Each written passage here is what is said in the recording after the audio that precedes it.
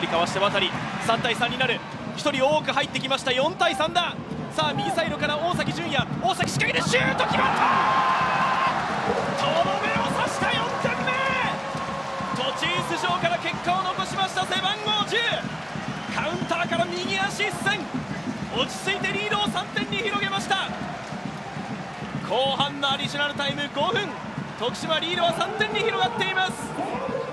やー完璧なシュートでしたね。いや素晴らしいコースでしたね。